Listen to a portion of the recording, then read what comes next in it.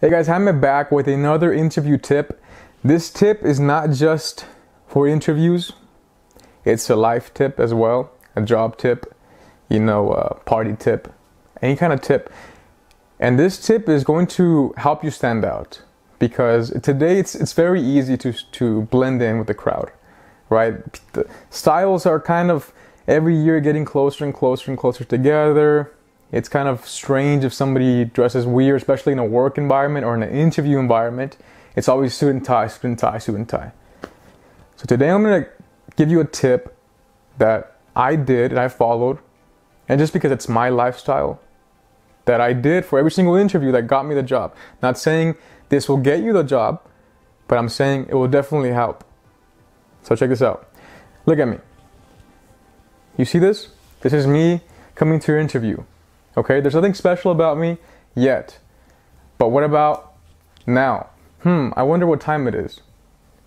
Okay, this watch, not this specific watch, but by wearing a watch, doesn't matter what brand it is, just wearing a watch, that already sets you apart from the crowd. Okay, watches are classy. Men, women, it's classy. It's a timepiece. You can wear it. It automatically just turns up my you know my my style and it helps you stand out. Because check this out. I'll tell you why. I wear watches all the time. I like watches. But i've also had friends who interviewed who never wore watches. I told them to wear one of my watches. It's a conversation starter because when i interviewed my boss's boss was there.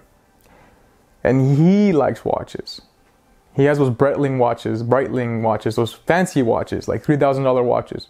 This is a couple hundred bucks. And I saw it. He saw mine. Instant connection, guaranteed. And we talk about watches. So you never know. It's, it's not going to damage you. Wearing this is not going to damage you, but it could help you out tremendously. I, I guarantee it. Right?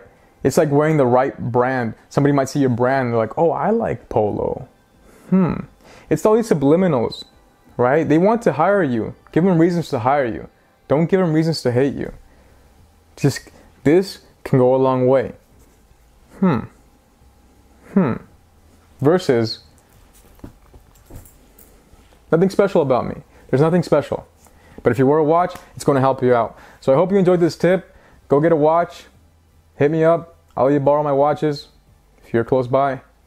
So with that being said, like to or like this video and subscribe to my channel if you enjoyed this. See you guys on my next couple of videos. Goodbye.